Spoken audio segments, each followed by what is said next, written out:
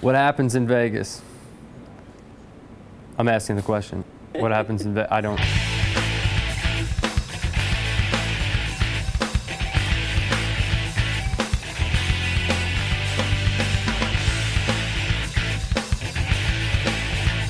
Uh, I think the theme of today's shoot really comes down to the notion of it's not funny anymore. When is something no longer funny? And, you know, kind of connecting into some of the comedy that I've done, like you got to push it to the edge, but when does it go overboard? And so the shoot today, I think, ended up being all things that take it overboard. It's when it's gone too far and it's just not funny anymore. Steven had me taped up to a pole about eight feet in the air with duct tape just hanging there. I had my face all bloodied and battered while wearing a perfect suit. And then we had sort of like clown makeup on my face. Uh, and then me making fun of somebody while wearing the clown makeup. So, not your typical photo shoot.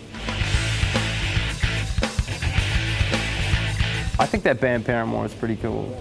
And I saw John Mayer play live recently, which was pretty exceptional. That cat Radin, Josh Radin, his new album's pretty interesting. I like the new Jack Johnson album. I think that's pretty cool.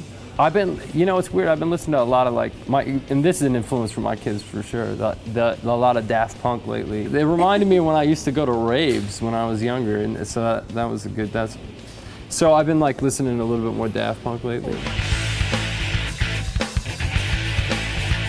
Being on TV makes people feel like they really know you, like really know you, right? Because they've hung, like anytime you've got somebody and they sat in their underwear and they hung out on their couch eating some potato chips and they were hanging out with you, right. they feel really comfortable with you, right? so some of the like the craziest thing is when someone comes up to you and tells you something really personal and you're like, I don't even know you, man. Like, what? I, like, and you want to help, but it's like you just kind of are like, right.